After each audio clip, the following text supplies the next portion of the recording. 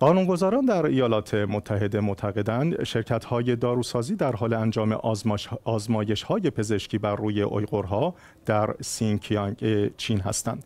در سال 2021 دولت ایالات متحده اعلام کرد که نسل کشی علیه اقلیت عمدتا مسلمان اویغور در چین در حال وقوع است و اردوگاه های بازداشت دست جمعی، شکنجه، کار اجباری و عقیم سازی اجباری در سینکیانگ همچنان برپاست. ولی دولت چین هر گونه شکنجه یا عقیم سازی را رد می کند و می گوید اردوگاه های بازداشت عمدتا تعطیل شدند و کار اجباری وجود ندارد بلکه برنامه های داوطلبانه یا آموزش حرفه‌ای در سینکیانگ به اشتباه کار اجباری نامیده شده است.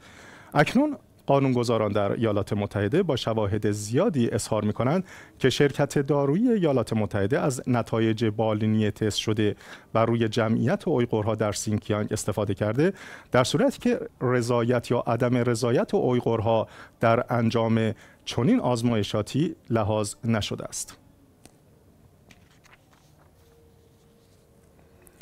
از علی سرداری نویسنده مترجم و تحلیلگر سیاسی از پاریس پیرامون این گزارش دعوت و عمل آوردیم. آقای سرداری سلام و عرض ادب. جناب آقای سرداری چین همواره کار اجباری شکنجه و بازداشت مسلمانان اویغور را انکار می‌کنه و سند و مدرک مهمی هم در دست نهادهای حقوق بشری دنیا علیه چین نیست. آیا این آزمایش های بالینی در بدام انداختن چین و جمعآوری سند بر علیه آنها موثره؟ بفرمایید. با سلام به خدمت شما و بینندگان و شنوندگان شما. ممنونم. اکنون به صلاح مسئله فلسطین و اسرائیل به شدت ادامه داره آمریکا احتمالا این مسئله رو بررسی پیش کشیده که بتونه چین در رابطه با فلسطین ساکت کنه. یعنی خدمت چین به هیچ کس اجازه نمیدن تا دیدار کند یا فیلم برداری بکند یا تماس بگیرد تماس برقرار کند.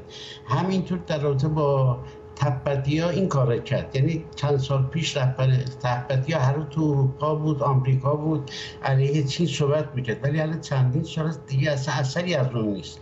چین توانمند قدرتمند به اینا فشار میاره. اینا در مقابلش به صلاح کوتاه میان. آمریکا این مسئله احتمالا ترک کرده که فلس... مصر چین رو در با اسرائیل ساکت کند. نیاد جلو نرد پشت فلسطینی ها این مسئله رو تقویت کند. گامی علیه آمریکا و اسرائیل برداشت کنه. یه مدتی پیش یکی از خانواده های از چین اومده بود به پاریس. من با اینا دیدار کردم صحبت کردم گفتن وضعتون چطوره؟ گفت به همون وضع ادامه دارد هم اردوگاه اجباری هم شکنجه هم به صلاح جلوگیری از وجودان نسل همه اینا ادامه دارد.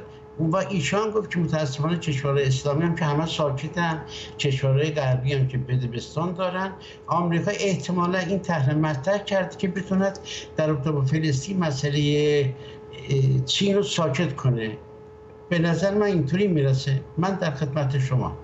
ممنونم از همراهیتون. با تشکر از علی سرداری نویسنده مترجم و تحلیلگر سیاسی از پاریس.